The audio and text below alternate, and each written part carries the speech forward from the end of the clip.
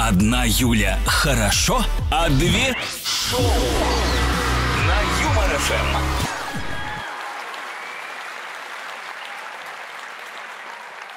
У нас э, гость, как мы и обещали. Не забывайте включать видеотрансляцию. Она есть на сайте веселорадио.ру в нашей официальной группе ВКонтакте. И раз уж мы сегодня говорим про искусственный интеллект, про нейросети и вот это вот все, мы пригласили в гости специалиста, эксперта по развитию технологий искусственного интеллекта компании Яндекс Александра Крайнова. Добрый вечер, Александр. Добрый вечер. Добрый вечер. А, Просто пришла такая новость а, сегодня, которая нас немножко так напугала даже. В Оренбургской области купили умного ассистента, чтобы он записывал там в МФЦ, в поликлинике. И этот один вот э, робот, можно сказать, голосовой помощник, заменил 33 оператора колл-центра. То есть э, 33 человека пошли э, на мороз. И, видимо, еще там было 45 разработчиков, которые его внедряли. Ну, конечно, они-то заработали. Мы за них спокойны. А что вот делать э, тем людям, которые, ну, если будет все это развиваться, вполне возможно, могут остаться без работы? Не только про сотрудников МФЦ идет речь. В принципе, мы же видим, как развиваются э, искусственный интеллект, нейросети и так далее. У нас сегодня тема. Вот слушатели как раз пишут, меня никто не заменит, потому что я то-то. Меня не заменит искусственный э, э, интеллект. Стоит ли нам бояться остаться без работы? И зачем тогда вообще нам говорят, рожайте детей, размножайтесь, если скоро для нас, э, людей из плоти и крови, не останется рабочих мест? Тут есть очень много разных ответов. Один из ответов звучит так. Он мне очень нравится. Это не моя фраза, но я ее прям постоянно цитирую, что человека заменит не искусственный интеллект, а другой человек, который будет пользоваться искусственным интеллектом. Ну, это такой инструмент, искусственный интеллект, который нас делает лучше. А если он нас делает лучше, то если я лучше, то я могу заменить кого-то, кто хуже, кто этим не а пользуется. Лучше в смысле добрее, умнее? Это что значит лучше? Лучше с точки зрения работодателя, то есть производительнее, человек, который пользуется технологиями искусственного интеллекта, работает быстрее и качественнее. А, то есть э, тот э, писатель, который, скажем так, пишем, пишет книгу по старинке, там пером макает в чернила, это медленно. А тот, который зовет на помощь искусственный интеллект, который за него полкнижки написал, он так немножко подредактировал, запятые поставил, вот он и в выигрыше. У нас есть еще промежуточное звено, редактор, э, ре- редактор, говорю, писатель, который печатает что-то на компьютере. Он уже это делает быстрее, чем тот, который писал ручкой. А теперь это просто некий следующий этап. Так получается, вот это среднее звено вообще можно исключить и выкинуть. Зачем нужен писатель, если нейросеть может написать Вот книгу? именно. Напиши ей промп, ну вот это вот задание, как правильно э, делать эту книжку. Какую ты книжку хочешь, детектив, там, я не знаю, сказку, и она тебе все напишет. Может, но просто получится плохо. Ну, то есть, если хороший писатель использует искусственный интеллект, неважно в какой пропорции, сколько там вклада писателя, сколько искусственного интеллекта, получится лучше, чем если этот писатель будет писать один, и уж точно гораздо лучше, если искусственный интеллект будет писать один. И да, вот тут у меня просто вопрос про плагиат. Мы знаем, что нейросети собирают информацию со всего со всего мира, там, например, отсюда предложение выдернет оттуда, и вот у тебя получается вроде книжка, ты же не все книги в мире прочитал, но автор, который будет читать твою книгу, найдет там свою строчку и скажет, э, алло, Ну, во-первых, скорее всего, он там свою строчку не найдет, и главное, что это работает абсолютно так же, как у человека. Но мы же, когда что-то пишем, мы пишем, потому что мы тоже где-то что-то слышали и прочитали. Вот мы у себя где-то в голове это соединили и написали. Может быть, даже иногда кого-то процитировав. Ровно то же самое получается у искусственного интеллекта. Он не хранит в себе прям дословно все эти тексты и страницы, а внутри этого нету. Есть просто какие-то общие закономерности, и чем э, искусственный интеллект в кавычках видел больше хороших текстов, тем он лучше пишет.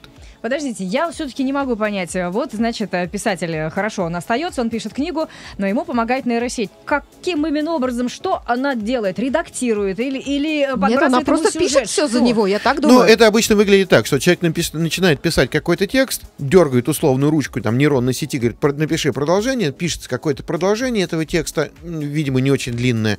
Вот, и дальше человек что-то в этом правит, э, говорит, еще раз продолжи. Или если ему не понравилось то, что она написала, э, нажимает кнопку еще и еще до тех пор, пока не получит тот вариант, который ему нравится. Стойте, теперь у меня вопрос.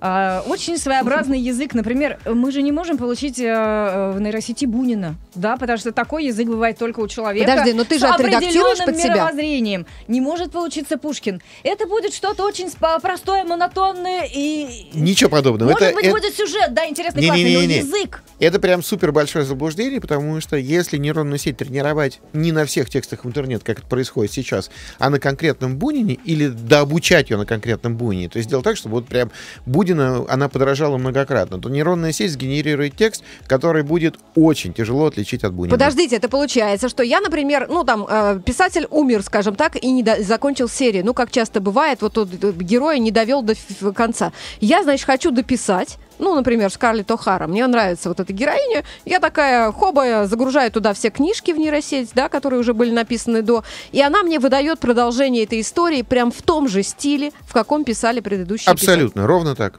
Ну, круто. Вообще не круто, потому что, смотрите, я считаю, что, э, ну, э, картины, э, нейросеть рисуют э, картины. Писатели, значит, они нужны, э, потому что пишут книги. Ведь э, дело же не только в том, как э, красиво выглядит эта картина или какой интересный сюжет. Это же душа. То есть автор, он проживает.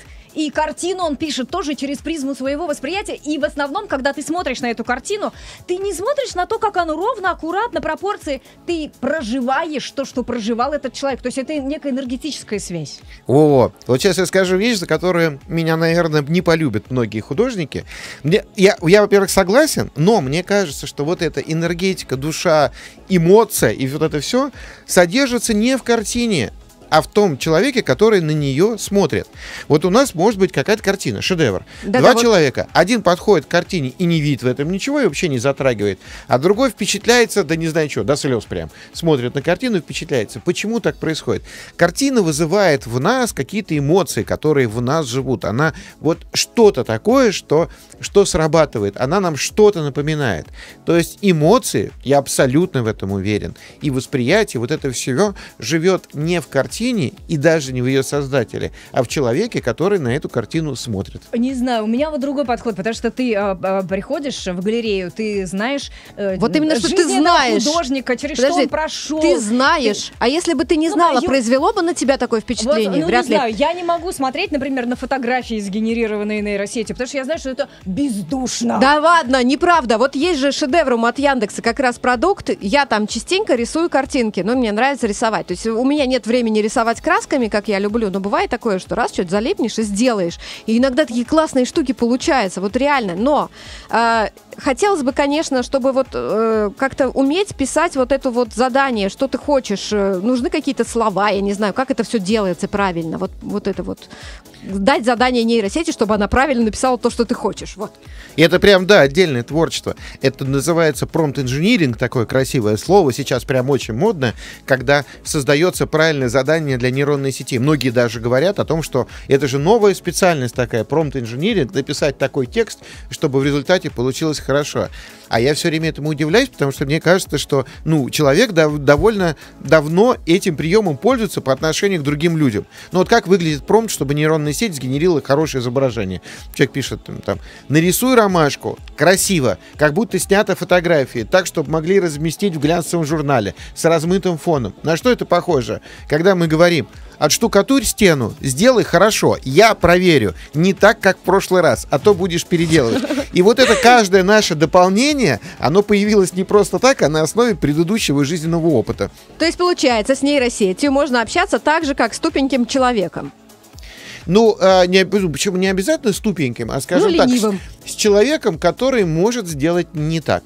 То есть каждый раз э, э, дообучать, дообучать, вот здесь не очень, вот здесь давай поправим, и каждый раз поправляем и поправляем до тех пор, пока не добьемся нужного Пока не результата. добьемся А нужного вот есть результата. уже эти курсы пром, промпт-инжиниринга? То есть можно куда-то пойти на это учиться, чтобы потом ты такой царь при работе, у тебя все есть, что ты в этом разбираешься, а другие нет. Есть, есть, очень много таких разных курсов появляются, но я бы предостерег от того, чтобы прям серьезно этим заниматься. Почему? Потому что нейронные сети развиваются, вот писать такие сложные промпты становится все менее и менее нужно. Все, что мы, разработчики, делаем, мы делаем так, чтобы с нейросетью можно было общаться на нормальном, естественном человеческом языке, она с первого раза понимала, что надо. Но прямо сейчас, конечно, искусство задать правильный запрос, оно очень важно. Слушайте, Александр, вот про искусство задать правильный запрос. Смотрите, э, есть в Яндексе такая штука, как быстрый ответ, которая Нейро генерируется... это как раз да. сеть, которой Да, вы да, да. занимаетесь. А, насколько я, как пользователь, понимаю, она выдает ответ на основе, ну, там, значит, анализа большого массива каких-то существующих э, в, в интернете статей. И очень часто бывает такое, что быстрый ответ э, некорректен. Я это уже проверяла неоднократно. Вот, пожалуйста, у меня есть скрин. Значит, быстрый ответ. Кто такой Тёма Лебедев? Отвечает э, нейросеть. Артемий Лебедев. Настоящее имя Абрахам Жанович Ибджан. Может быть, это правда, откуда ты знаешь? Ну и дальше уже это, э, откуда? Какой Абрахам Жанович Ибджан? А раскрыли мы все-таки правду про Тему, да? Сейчас оправдываться придется. Нет, водолазках всем троим. А Как получается так, что, ну, ты же задаешь вопрос, чтобы получить правильный ответ, а выходит вот что Я расскажу, я расскажу, как это работает. А, э, как работает наш нейро. А, Поиск находит в интернете информацию, всю с разных сайтов, с разных источников, а нейро перерабатывает эту информацию в связи, ну, в соответствии с запросом и выдает уже готовый результат. Но что мы обязательно делаем? Понимая, что в источнике, который мы нашли, может содержаться информация неточная, под каждым абзацем текста, который выдал нейро, мы обязательно ставим циферку, и внизу есть сноска, откуда этот текст получен. Чтобы можно было пройти и проверить, действительно ли там такое написано. То есть вот э, это все, конечно, здорово, быстрый поиск, э, ля-ля-ля, но нужно все равно перепроверять. нужно все равно всегда перепроверять. И вот я прям мой совет всем. Неважно, чем вы пользуетесь, пользуетесь ли вы искусственным интеллектом, или вы читаете написанные тексты, или слушаете ли вы сейчас меня, перепроверить никогда не помешает. А возможно, Потому что кстати, он его делает. Да, возможно назвать папой искусственного интеллекта в России. Или уже дедушкой. Ой-ой-ой, уве- у- у- уверен, что нет. Я, конечно, думаю, что как у любой технологии есть очень много великих отцов ученых, но я боюсь, что я с ними в один ряд не готов становиться. А вот у меня вопрос, деточкина, правда, тут, э, когда были выключены микрофоны, сказала, ой, это то же самое, ты уже спросила. Все-таки я сформулирую. Смотрите, я преподаю радиожурналистику, и курс заканчивается, э, дети пишут эм, курсовую. А, Они приносят курсовые, от которых волосы дыбом на голове встают, потому что они пишут с помощью нейросетей, и им искусственный интеллект рассказывает про каких-то несуществующих личностей и, э, собственно, жизнь этих личностей, про э, там радиостанции, на которых эти несуществующие персонажи работают. И получается, что вся курсовая идет просто под нож, потому что они ее делают на основе вот этих некорректных данных, которые им э, кто-то там рассказал. А те, кто к вам приходит, они журналисты, да? Э, Да, вот это да. Нет, это же... Опять мы про факт-чекинг говорим. Да, да, да, конечно, именно. То есть вообще мне кажется, что очень полезный навык для любого человека это факт-чекинг, проверка фактов, действительно это правда или нет. А особенно это важно для журналиста. И мне кажется, нейросети это отличный тренажер для журналиста по проверке фактов. А вот про лингвистов еще можно задать вопрос? Извини, что я перебила. А, мы знаем, что в русском языке есть слова, которые обозначают ну, разные вещи. Например, там клетка. Есть клетка для э, животных, есть клетка, Клетка в человеческом да. теле, есть там, не знаю, кошки. Кошка как животное, опять же, и кошки э, вот там на э, обуви у альпинистов и так далее, и так далее. Как э, вы обучаете нейросеть э, понимать в контексте разные слова? Абсолютно так же, как учатся люди. То есть на примерах и на текстах. Ну, мы же, когда учим язык, ну, если мы учим язык на курсах языка, то мы, наверное, конечно, учим отдельные слова и правила. А как язык учат дети? Ну, просто в разговорах просто слышат и учат, и как-то интуитивно учатся понимать. Ну, Ровно то же же не, самое. не ребенок, не живой человек. Вот именно, да. Насколько быстро она обучается. По способу обучения очень похоже на ребенка. Потому что э, обучение нейронной сети, вот именно, собственно, этим и отличается искусственный интеллект от всего остального. Тем, что он учится на примерах, на большом количестве примеров. То есть там никто не программирует правила. Если так, то так. Даешь примеры, нейронная сеть обучается на примерах. Прочитала много текстов, понимает, что да, бывают разные кошки. И вот у меня э, вообще, во- как бы, исходя из всего этого, э, вопрос. То есть, э, э, скажем так, нейросеть еще недоразвитая. Ну, то есть ей еще учиться и учиться, развиваться и развиваться вот до того уровня, когда мы сможем ей полностью доверять. При этом, а, вот я знаю, что нейро уже может помогать не только писать курсовые Юлькиным студентам, но и там решить за школьника задачу. Я вот прочитала, что она такое способна сделать. Э, Насколько э, школьник, придя в школу с такой вот задачей, решенной нейросетью, может получить пятерку? А, смотря на что он посмотрит. Вообще давно существует в интернете большое количество различных решебников. То есть дети-то это знают лучше всех остальных.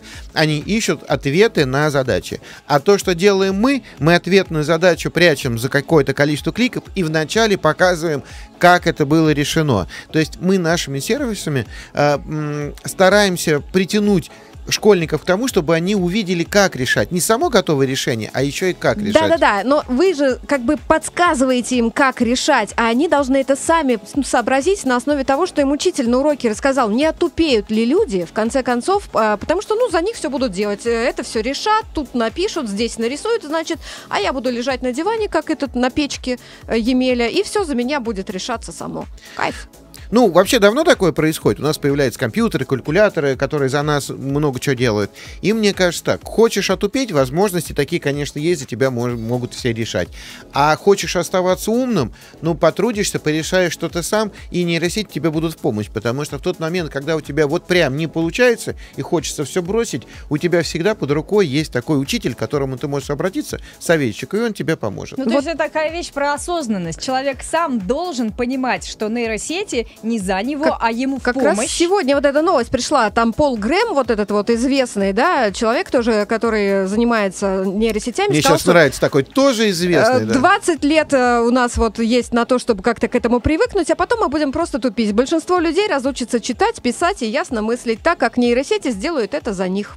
Даже Да думать нет, будут нет, за нас. конечно, ну, конечно, не разучатся. Ну, смотрите, в нашей жизни же такое было. Вот когда-то у людей даже книг не было, текста не было. Они, чтобы что-нибудь узнать, ходили к друг другу и спрашивали. А потом появились книги, все это можно узнать э, из книг. Разучились люди спрашивать? Нет, не разучились. А потом появились компьютеры и интернет. И тебе книги не нужны, потому что можешь сразу ответ получить в интернете. Разучились ли люди читать книги? Не разучились. И общаться друг с другом не разучились. Это еще один быстрый способ получения информации, который не отменяет предыдущее.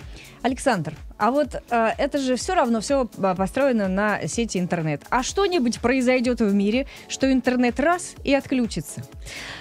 Что Ох. произойдет Вот тогда именно. вот с этим всем, во что вложено Ах. столько Помните сил, же, был вот этот энергии? ужас, когда там типа 2000 год наступает, компьютеры запрограммированы только до 1999 Да вот мы даже все умрем, коллапс. Недавно ведь э, была история, когда э, что-то там с программным обеспечением, и самолеты в Европе, в Америке не летали, не могли ни билеты продавать, ни регистрировать, ничего. Ну зачем вы это спросили? Ну хорошо же сидели-то, а? Ну, это правда План серьезно. Б. Это, Есть это- какой-то план Б? У меня нет. Ну, кстати, не знаю, печку, дрова, печку построить, дрова заготовить. Нет, ну правда, э, это действительно хороший вопрос, потому что мы сейчас все очень сильно впадаем в зависимость от интернета. И это дело, вопрос даже не в искусственном интеллекте, а просто, ну так получилось, что нам без него уже тяжело. И каждый раз с ужасом думаешь, а что произойдет, если интернет вдруг отключится? Ведь людям для того, чтобы его восстановить, подключить, нужно будет зайти в интернет, посмотреть как, а он не работает. Это прям сложная история. И если чего-нибудь бояться, да, только того, что мы не по осторожности э, сломаем себе интернет. А вот у меня еще, ну ладно, например, а, нейросети развиваются, развиваются, развиваются, и вот уже какое-то глобальное облако. Я, кстати, читала такой роман а, апокли- апокалиптический. Там облако это решало, кому из людей жить, потому что нужно было выкашивать периодически вот этих вот лишних граждан. И то есть оно все за нас решает, а мы в какой-то момент думаем, ну-ка хватит. Есть вот какая-то кнопка, которая все это вырубает. Тут даже хуже. Тут обычно даже если ты кнопку не нажимаешь, оно постоянно само падает, отваливается, не работает, и все время Ну, это нужно за этим следить. Вот, да, то всегда можно выдернуть из розетки. Но вообще, на самом деле, неправильно все, э, все такие претензии предъявлять искусственному интеллекту, потому что это все-таки всегда формула, по которой решается поставленная задача. И если вдруг кто-то говорит, что искусственный интеллект решает там как судьбу разных людей, то вообще-то решает не искусственный интеллект, а какой-то человек, который технологиями искусственного интеллекта пользуется. Так он может же написать эту формулу, получается, в 20 или там 21 веке, а в 25 веке эта формула как-то не так сработает. Ну, потому что у нас постоянно меняются даже моральные установки. Когда-то вот сжигали ведьм, а теперь их вот посадили работать здесь на Когда-то Юмор ФМ. ставили памятники, а теперь их сносят. Да? Я думал, пришел на юмор ФМ, буду шутить, а тут прям такие серьезные вопросы ставятся. Есть такое понятие, э, называется сдвиг данных. То есть со временем данные постоянно меня... мир наш меняется, и поэтому если мы научили какую-то формулу на том, что было несколько лет назад, то вот сейчас она будет работать хуже. И поэтому ученые, которые делают нейросети, создают, ну и разработчики, они постоянно добирают всякие свежие данные и потихоньку постоянно доучивают. То есть, чтобы нейронная сеть, ну вообще искусственный интеллект, действовал э, в соответствии с меняющимся миром. А может быть такое когда-нибудь нас- наступить время, когда не будет нужен человек для обучения нейросетей? То есть она начнет сама себя обучать. Никогда, никогда. Даже если есть технологии, которые э, делают так, что нейронная сеть, ну не то, что сама себя обучается, а учится на собственных действиях, но человек в процессе все равно нужен. Потому что вообще, по большому счету, нейронная сеть — это способ размножить наши знания. Мгм. Так, у меня еще такой вот тогда вопрос. Получается, а, ваша нейросеть, вот нейро от Яндекса, она все знает, быстрые ответы дает, а может ли она, например, за меня подать налоговый вычет в налоговую? Потому что я не понимаю, как это делать. Вот прямо сейчас подать не может, но я абсолютно уверен, что появятся у нас ли или у самой или налоговой такие сервисы, когда можно будет просто попросить и налоговый, налоговый вычет или еще что-то. В общем, любые документы будут сделаны. То есть нейросети э, становятся для нас таким способом говорить человеческим языком с чем угодно, с любыми другими сервисами. Мгм. Но это ведь страшно. Она обо мне все знает, а я о ней ничего. Да она ничего не знает, кроме той информации, которую дали прямо сейчас, а в следующий раз про это забыли. Мы не верим. Да, Все конечно. Я тоже не верю. Где-то потом достается У в меня, нужный момент. я могу доказать, у меня есть прям прекрасная метафора. Вот представьте, вот хотите, чтобы у вас дома вдруг появились там на бумажке записанные прям тексты информация про каждого человека. И тот, кто говорит хочет, он не представляет себе, что произойдет. Он просто даже войти в квартиру не сможет, потому что там будет все забито и не найдешь там ничего. С данными то же самое. Если даже где-то копится и собирается много данных, чем больше данных собирается, тем тяжелее в них что-нибудь найти. Вот и э, резюме такое. Нейросети. Это все-таки добро или зло? Вот сейчас прям вынесем вердикт им. И это вообще не добро и не зло, это инструмент, который становится либо добром, либо злом, в зависимости от того, кто использует. Хороший Добро ответ. или зло всегда в, в человеке, в руках человека, а не в инструменте. А нейросеть, она никакого отношения, то есть она не, у- ну, в смысле, не человек. Она Несмотря на не то, что это человек, мы она отдаем не- ей все. Она не человек, она инструмент. Она э, против тебя не восстанет и не сядет в это кресло Я не верю, мне страшно все равно. А, Большое вам спасибо, Александр. Конечно, этот разговор может быть бесконечным, но, э, к сожалению, мы ограничены во времени. А, Напоминаем, что сегодня у нас э, в гостях э, был эксперт по развитию технологий искусственного интеллекта компании Яндекс Александр Крайнов. А, Вот с ним можно много разных интервью посмотреть на Зовите еще, я приду с ресурсах. удовольствием. Мы с удовольствием, потому что, да, разговор э, не окончен. Огромное вам спасибо. Спасибо. И всего хорошего. Спасибо, хорошего вечера. Одна Юля хорошо, а две шоу на Юмор ФМ.